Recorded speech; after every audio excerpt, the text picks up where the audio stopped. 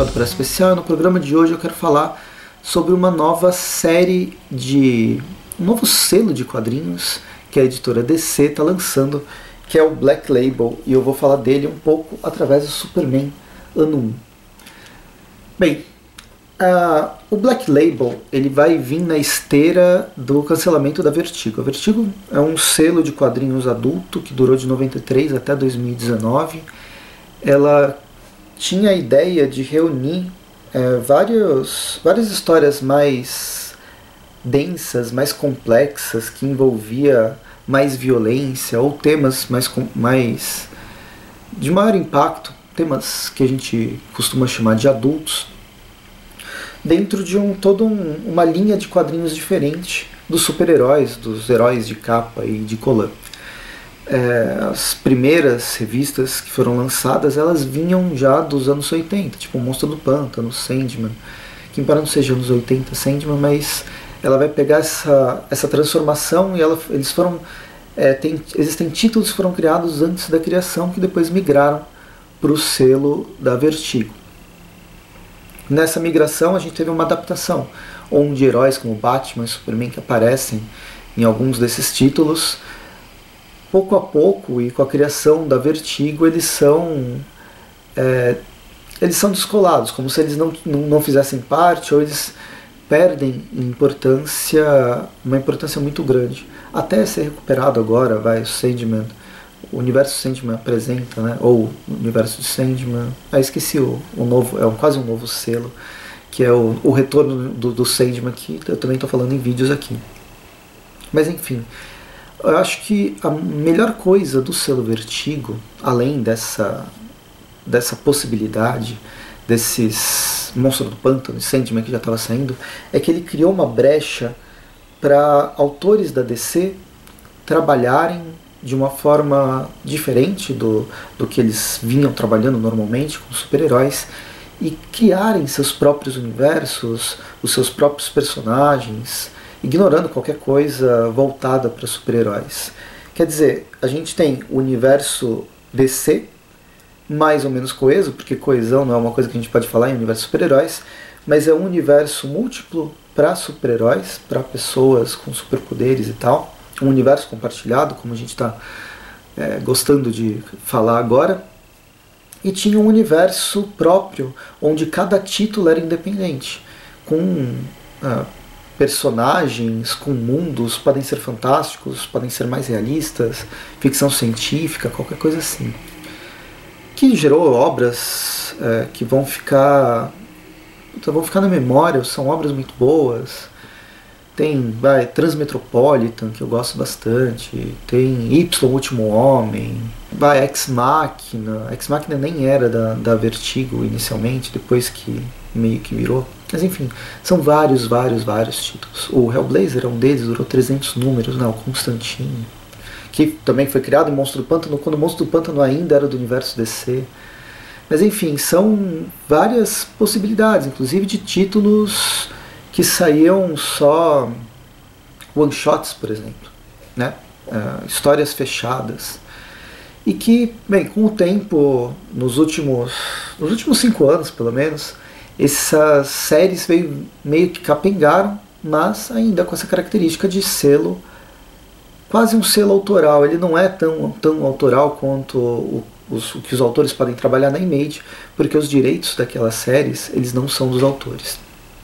Mas, ainda assim, eles têm liberdade editorial, liberdade criativa muito maior do que quem trabalha no título como Batman, Superman, Lanterna Verde, Aquaman, Mulher Maravilha, qualquer coisa esses outros que a gente está acostumado. Bem, pois bem, a, em 2019 o selo foi descontinuado por vários motivos, alguns, alguns eu concordo, outros não, e assim que ele foi cancelado foi criado um novo que é o Black Label.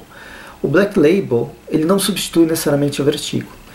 É, inicialmente ele tem essa ideia de ser um selo adulto, só que as principais revistas que são, foram lançadas até agora, elas são voltadas para dar uma nova interpretação do universo do universo de super-heróis. Aqui os títulos que saíram foi o, Batman da Nação, que já foi lançado pela Panini, a Harley, que foi lançado pela Panini, lançaram dois volumes, vai ser o terceiro. Normalmente são três edições, tem uns one-shots, outros não. O Superman 1, que começou a sair. Aí tem Batman Cavaleiro, Cavaleiro Branco, apresenta Von Freeze. O Cavaleiro das Trevas retorna, The Golden Child. que mais? Tem um do Joker, que tem vão ser nove edições. Uh, o Questão, tem uma do Questão que eu quero ler. Uh, Wonder Woman Dead Earth. Eu tô com uma sequência aqui. Uh, Strange Adventures está saindo agora. Vai, é, saiu um volume de Birds of Prey. E, bem, são várias historinhas que já saíram, deve ter uns 20 títulos entre séries e one-shots que estão sendo lançados nos Estados Unidos, mas são histórias de super-heróis. E putz, não é grande novidade. Você, os, os autores podiam trabalhar, sempre puderam trabalhar com histórias alternativas de selos dos personagens principais da DC. A gente antes tinha lá a série Elseworlds, que é o Túnel do Tempo, mas também teve outras revistas que não saíram nem em selo nenhum, mas o Grandes Astros do Superman é uma história específica. Tem esse nome, Grandes Astros, mas não é um selo de quadrinhos. É simplesmente uma.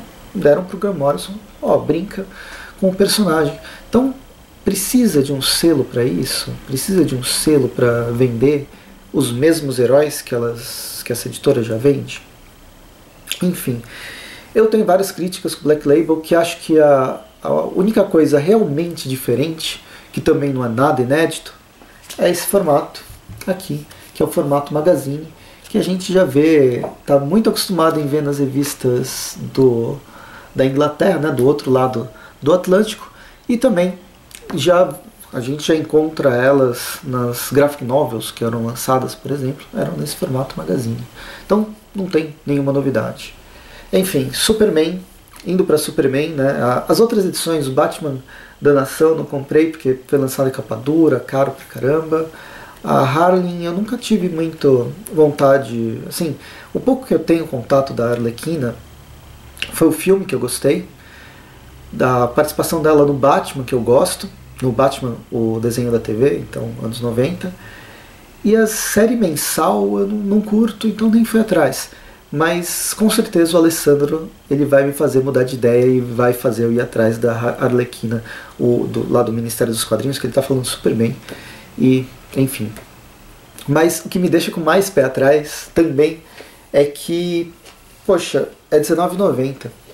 Né? É uma, uma revista de 70 páginas por R$19,90. Eu sei que é um formato diferente e tal, mas para quem não tem tanta, tanto título no mercado e você tem que escolher esses títulos de super-heróis, 70 páginas, acabam ficando mais ou menos assim, com o pé atrás. Eu, Superman, ano 1, eu não ia comprar, mas eu sou um verme, eu gosto do Superman, foi o primeiro personagem que me fez ler quadrinhos, eu não sei, eu tenho um, uma atração que me dificulta é, não comprar as revistas do personagem. E depois são três edições de 20 reais cada, que vai sair 60 reais também. Então é a mesma coisa do Batman da Nação, provavelmente. Mas enfim, eu só percebi, eu só fui pensar nisso depois.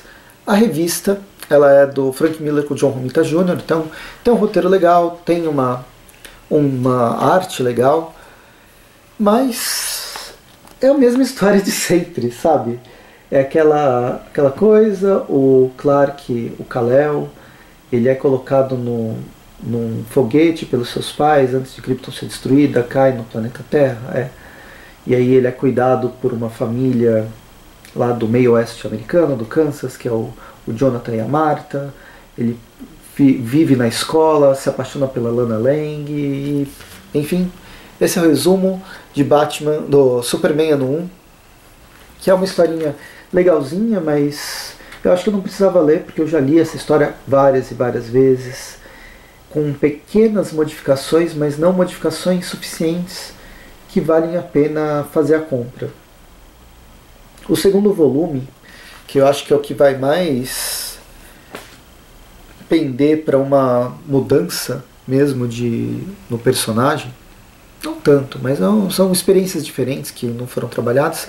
É que a fase do Superman antes de ir para Metrópolis, que ele fica viajando pelo mundo, ao invés dele simplesmente viajar pelo mundo, ele entra para a Marinha e aí aprende. Eu, eu dei uma lida rápida pela internet, tanto do segundo quanto do terceiro volume. Então ele vai para a Marinha e ele tem todo o treinamento militar. E acho que, putz, isso não combina com o Superman em nada. Mas enfim, vamos ver. É, a, própria edição fica meio nessa dicotomia, mas é uma história do Frank Miller. O Frank Miller, é, a gente criticando ou não, mas ele tem uma ideia uh, na cabeça de como ser um, americano e ter o Superman, o Superman como maior símbolo dos Estados Unidos, ele teria que passar por um exército, talvez. Talvez essa seja a visão do Frank Miller. Mas enfim, não vou entrar nesses, nesse mérito. Eu sei que eu não gostei muito dessa participação dele na Marinha, que vai estar retratada no segundo volume, e o terceiro volume já é ele em Metrópolis a aparição de outros personagens mais conhecidos. Vai ter o Lex Luthor, o Batman, a Mulher Maravilha e outras coisas assim. Enfim, Superman eu não é, se você nunca leu Uma Origem do Superman, é legal, é um álbum bonito, com uma qualidade gráfica interessante, arte é muito legal. Mas se você já tem a história do Superman em alguma outra versão, acho que fica com aquela versão que é. Seja ela qual for, acredito que ela é melhor. Ela já é melhor que essa, ela já é suficiente. Ela não é necessário, não é necessário que outras recontagens de origem sejam recontadas. Então é isso. Eu vou ficando por aqui. Espero que tenham gostado do vídeo. Curtam o vídeo, assinem o canal, assinem o Chapéu do Press no Facebook. Me sigam no Instagram, no arroba Pressogáudio, e comentem. Vocês leram Superman ano 1, não leram? Leram uh, aquele Batman da Nação? Leram a Arlequina? É, falem, comentem sobre essas, essa Black Label, essas, essas revistas que foram lançadas aqui, que eu quero saber de vocês quais suas percepções desses novos títulos, dessa nova linha editorial que a, que a, a, a DC quer seguir, que para mim é só mais um repeteco com uma maquiagem um pouquinho diferente. Então é isso, eu vou ficando por aqui, até mais e bons quadrinhos.